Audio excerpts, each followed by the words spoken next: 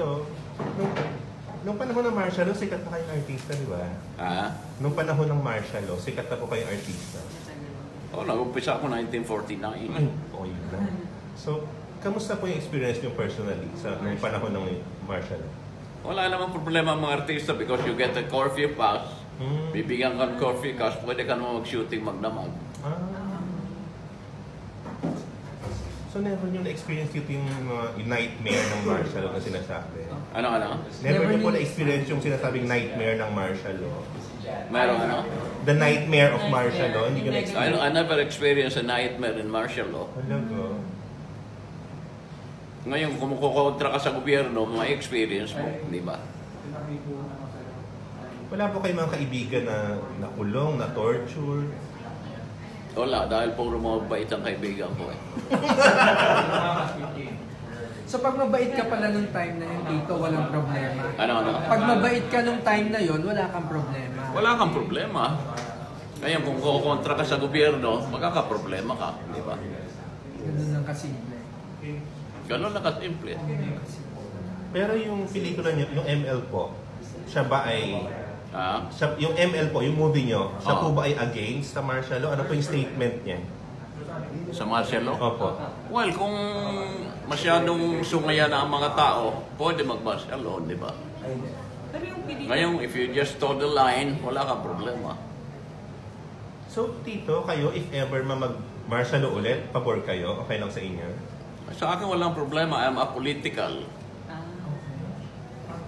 Ah, po mabigat yung character nyo. May, Ah. may, mabit, madalas po heavy yung character nyo. Ano, ano? Ah, madalas, ah, often heavy yung character nyo, like even, pagdating po ba sa bahay, nadadala nyo pa yung... Dahil hindi. Pag alis ko sa set, wala na yun. Naiiwan sa set yung character. Hindi ka mukha nung iba na dinadala ko sa saan. May Hollywood actor na ako, eh, pagpunta sa bar, ang role niya, loko, nagloloko sa bar, so madalas siya magulpi. Mabilis na yung switch. Tito, ilang oras kayo in a day nag-work? Sinasagad nyo pa din ba na 8 hours or 10 hours? O may cut off? May cut. Hindi, ang, ang cut-off ko, ah, supposedly, ah, 2 a.m. Eh, kung minsan nakikiusap, inaabot ng alas 4. Ay? Minsan inaabot ng tanghali. Ay? Pinagbibigyan nyo? Grabe. Saan dito galing yung, yung sa character nyo, may galit siya kasi nanto-torture siya. eh, No? Saan nyo hinugot yun? Well, eh, yung trabaho ko, artista, hindi ba? So, dapat gawin mo kung ano ang role na ibinibigay sa iyo. Whether galit ka or in love ka. Ano? Whether, kahit ano pang emosyon, ika nga. Oh, siya. On your free days po, anong ano, anong activities yung nai-enjoy nyo sa free time? Sa? Free days, ah weekend. Pag wala kayong work, Pag dito. walang work. Break. Pag break Anong ginagawa nyo? For Ah, yung fun, hobby. For fun. Hobby. Ah, shooting. Range. Target shooting. Alam ko shooting pa Hanggang ngayon, Tito, hindi, ang talas pa ng mata nyo. Ang liwanag pa ng mata nyo, ang talas pa kasi shooting, di ba? Ano, ano? Maliwanag pa yung paningin nyo, yung vision nyo, kasi shooting, di ba? Oo. Matalas pa yung mata. Grabe. Oo.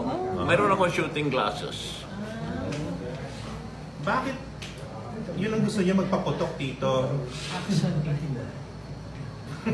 Hindi ko yun eh, hobby yun eh, di ba? Kamukha ng golf, di ba? Nagkataon na it's a practical shooting. Hindi kayo nabib... Di ba dito nakakabingi yung ano? Eh, mayroon kang earmuff. Saka mayroon kang protection glasses dahil yung tansik nung... So, mag- magaling kayong mamaril, Tito. Ko naman, I could hit the... I could hit, I could hit the barn door. A barn door. so, Tito, you own a gun in real life? Ha? You own a gun? Yeah. Nagamit nyo na po ba? Sa ano, sa tao, hindi. Ginamit niyo daw po yung own gun niyo in this movie. Ah, talaga? Direct. Yung Ginamit sarili- niyo po pa yung Sarili. mo Gun? in this movie. Ano, ano? Yung sarili niyo pong gun, ginamit niyo raw sa movie. In this movie, in this Ah, dito? Oo, oo. Yung, ano, yung 44 Magnum.